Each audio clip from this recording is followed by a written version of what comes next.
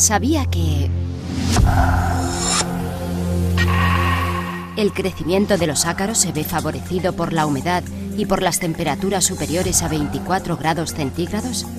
La alergia es más frecuente en las regiones costeras. Los ácaros viven en el polvo de las viviendas y centros de trabajo.